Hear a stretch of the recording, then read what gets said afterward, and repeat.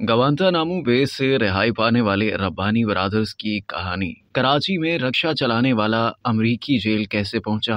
हामिद मीर का कॉलम।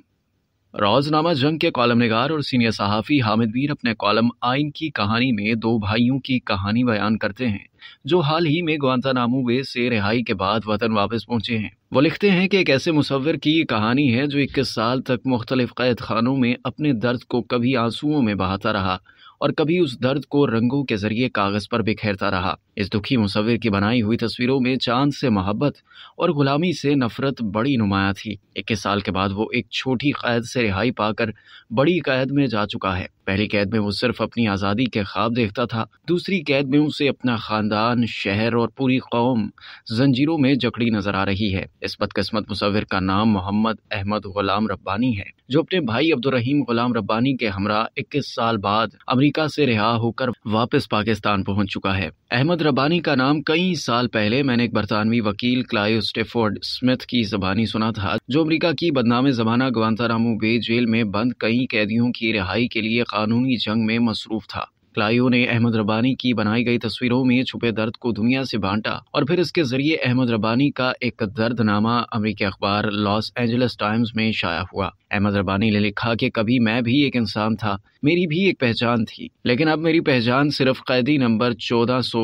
है। जिसे 2002 में जनरल परवेज मुशरफ की हुकूमत ने कराची से पकड़कर अमेरिका को भेज दिया। हैरान कन पहलू ये था कि अहमद रब्बानी और इसके भाई अब्दुल रहीम रब्बानी को अमरीकियों ने दो दिहाइयों तक अपनी जेलों में रखा और इस दौरान दोनों पर कोई इल्ज़ाम लगाया, न ही कोई ट्रायल किया। अलबत्त दोनों पर तशद करके मजबूर किया जाता रहा कि वो अलकायदा के साथ अपने ताल्लुकात का एतराफ़ कर लें, लेकिन दोनों ने ऐसा कोई एतराफ़ न किया। हामिद मीर लिखते हैं कि अहमद रब्बानी और इसके भाई की कहानी सिर्फ़ अमरीकी हुकूमत के जुल्म सितम की कहानी नहीं है। ये पाकिस्तान के बालादस्त तबके की वतन फरोशी की भी एक होशरुबा कहानी है, जिसमें चार हज़ार से जायद पाकिस्तानियों को सिर्फ़ पाँच पाँच हज़ार डॉलर के इवज अमरीका समेत कई दीगर ममालिक के हाथों बेच दिया गया। जनरल परवेज मुशरफ ने सबसे पहले पाकिस्तान का नारा लगाकर पाकिस्तान को सबसे पीछे धकेल दिया। जनरल मुशरफ की हुकूमत सिर्फ़ अमरीका को नहीं, बल्कि बरतानिया, फ्रांस, मिस्र, सऊदी अरब उर्दन सोडान और मोरितानिया समेत दीगर ममालिक को भी बंदे पकड़ पकड़ कर फरोख्त करती थी। सितम जरीफी देखिए कि 2002 में अमेरिका ने पाकिस्तानी इदारों से कहा कि उन्हें हसन गुल नाम का एक आदमी चाहिए जो सामा बिन लादेन के लिए काम करता था। यह आदमी सऊदी अरब में पैदा हुआ था, लेकिन पाकिस्तानी शहरी था।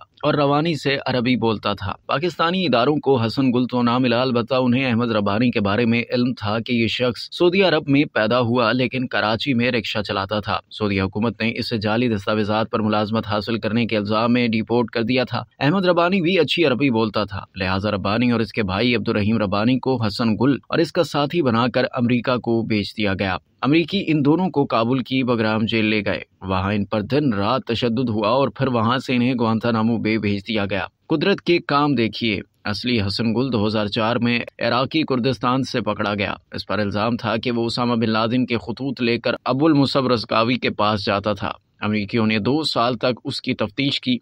इससे कोई खास इन्फॉर्मेशन ना मिली तो इसे पाकिस्तान के हवाले कर दिया गया और पाकिस्तानियों ने 2007 में इसे रिहा कर दिया। ये साहब 2012 में शुमाली वजरिस्तान में एक ड्रोन हमले का शिकार हो गए। अहमद रबानी को हसन गुल समझकर गिरफ़्तार किया गया, लेकिन सारा भेद खुल जाने के बाद भी अहमद रबानी को रिहा न किया गया, ताकि वो रिहाई के बाद दुनिया को ये ना बता दे कि दुनिया की ताकतवर तरीन इंटेलिजेंस एजेंसियाँ कितनी नालायक हैं। किसी को अच्छा लगे या बुरा सच ये है कि अहमद रबानी पर 21 साल तक जुल्म सितम की कहानी दरअसल पाकिस्तान के आइन की बेबसी की कहानी है। एक पाकिस्तानी शहरी को बगैर सबूत अमेरिका के हाथों फरोख्त कर देना आइन पाकिस्तान की खिलाफ वर्जी थी। इस खिलाफ वर्जी पर जस्टिस शेख रियाज अहमद से लेकर जस्टिस उमर अता बंदियाल तक एक दर्जन चीफ जस्टिस खामोश रहे। जब बार बार आयन तोड़ने वाले डिक्टेटर जनरल परवेज मुशर्रफ को एक बहादुर जज ने सजा सुनाई तो 2019 में वजी अजम इमरान खान ने army chief general Qamar Javed Bajwa और चीफ जस्टिस गुलजार अहमद के साथ मिलकर इस जज का फैसला मुअत्तल करवा दिया और फैसला मुअत्तल करने वाले जज आज सुप्रीम कोर्ट में बैठे हैं। मुशर्रफ को बजाने वाले सब लोग आज आपस में दस्तों गिरेबा हैं।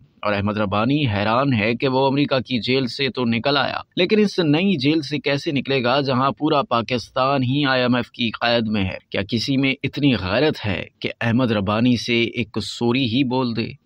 अब तक के लिए इतना ही। मजीद जानने के लिए सब्सक्राइब कीजिए डेली जंग यूट्यूब चैनल और लाइक कीजिए डेली जंग फेसबुक पेज।